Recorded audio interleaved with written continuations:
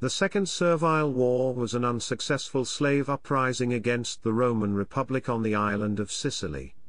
The war lasted from 104 BC until 100 BC. Chapter 1 Background The consul Gaius Marius was recruiting soldiers for the war against the Cimbri and Teutones in the north.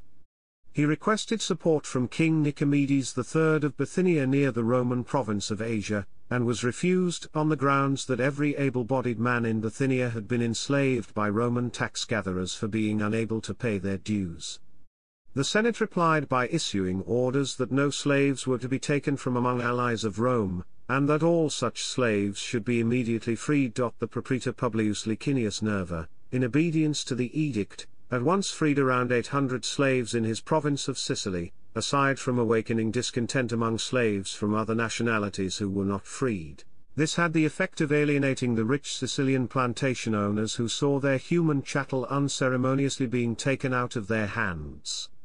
Alarmed, Nerva revoked the sentence of manumission, which provoked the slave population into revolt. Chapter 2 Salvius Tryphon Nerva failed to react decisively, by false promises he was able to return one body of the rebels to slavery, while neglecting to address a more serious outbreak near Heraclea. Eventually, Nerva dispatched a detachment of 600 soldiers to take care of the rebels near Heraclea but they were beaten and slaughtered, the slaves now gained confidence, having won a large supply of armaments and a strong leader, a former slave called Salvius. Taking the previous slave leader Eunus for his example, who had proclaimed himself an Antiochus of the Seleucid line, he assumed the name Tryphon, from Diodotus Tryphon, a Seleucid ruler. After his victory, Salvius besieged the city of Morgantia. Nerva now marched against him with Sicily's militia but he was also defeated. The slaves then managed to take the city. After Morgantia, Salvius' slave army swelled to 2,000 horsemen, and 20,000 foot. Meanwhile, another revolt had broken out in western Sicily, their Athenion, a Cilician slave with a career analogous to Cleon's, rose in revolt. He marched his slave army to join with Salvius upon hearing of the Morgantia victory.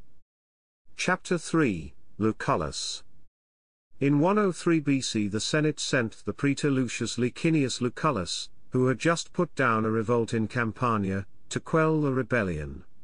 Lucullus, at the head of a 17,000-strong Roman, and allied army, landed in western Sicily and marched on the rebel stronghold of Triocala. Chapter 3 Section 1 The Battle of Scirthaea When Salvius Tryphon, the slave king, heard of Lucullus' arrival he wanted to hold out against the Romans inside Triocala. His general Athenion, however, persuaded him not to hide but instead face the Romans in open battle. Marching to meet Lucullus, the rebels encamped at Scirthaea, 12 miles distant from the Roman camp and, the next day, the two sides lined up for battle. According to Diodorus, Tryphon's host numbered around 40,00. After much skirmishing, the main battle began as the two armies closed the gap and came together. At first it seemed as if the rebels would drive the Romans back, with Athenion and his cavalry inflicting heavy losses upon Lucullus' flanks. However, just as it seemed that the slaves might be victorious, Athenion was wounded and fell from his horse. He was forced to feign death in order to save himself. The rebels, believing their general to be dead, lost heart and fled. Salvius Tryphon, seeing his army routed, turned and joined them in flight back to Triocala. Later that night, under cover of darkness, the wounded Athenion escaped the battlefield. With thousands of slaves cut down in the rout, Diodorus estimates that, as night fell, around 20,000 rebels lay dead, half of Tryphon's army. Chapter 3 Section 2 The Siege of Triocala After the battle, Lucullus slowly but surely worked his way to Triocala, restoring Roman rule while he marched. At Triocala the rebels had dug in, Lucullus started a siege while waiting for his command to be extended, but when he heard that he had been replaced he spitefully ended the siege, burned his siegeworks, camp and provisions, retreated and disbanded his army. Lucullus did this to render the task harder for his successor, Gaius Servilius the augur, Lucullus intended, by ensuring the failure of his successor, to prove his own innocence from any alleged incompetence.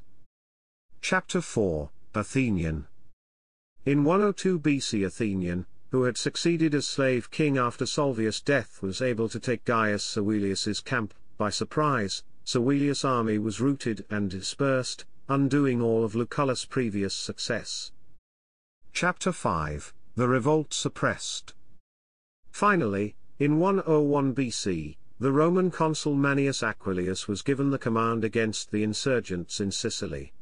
The senior consul, Gaius Marius, donated several cohorts from his army in Gaul to Aquillius.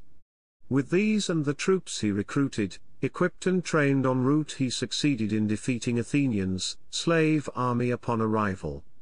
He supposedly killed Athenion by his own hand. The revolt was quelled, and 1,000 slaves who surrendered were sent to fight against beasts in the arena back at Rome for the amusement of the populace. To spite the Romans, they refused to fight and killed each other quietly with their swords, until the last flung himself on his own blade. It was the second of a series of three slave revolts in the Roman Republic, but fueled by the same slave abuse in Sicily and southern Italy. Chapter 6 Second Servile War in Literature F. L. Lucas's short story The Boar is set in Sicily in the aftermath of the Slave War.